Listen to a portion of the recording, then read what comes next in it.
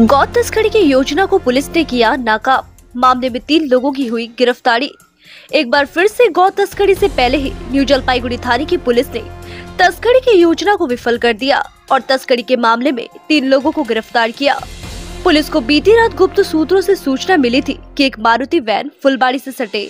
अमेदिगी इलाके से गुजर रही है। इसकी सूचना मिलते ही पुलिस ने इलाके में जाल बिछा दी। इसके बाद जब पशु तस्कर, पशु तस्करी के मकसद से इलाके में पहुँचे तो पुलिस ने उन्हें तुरंत गिरफ़्तार कर लिया। पुलिस ने छापेमारी के दौरान पाँच गायों के साथ तीन लोगों को गिरफ़्तार किया। गिरफ़्तार किए गए लोगों की पहचान मुख्तार अली, रिजवान करीम और मोहम्मद समर के रूप में हुई।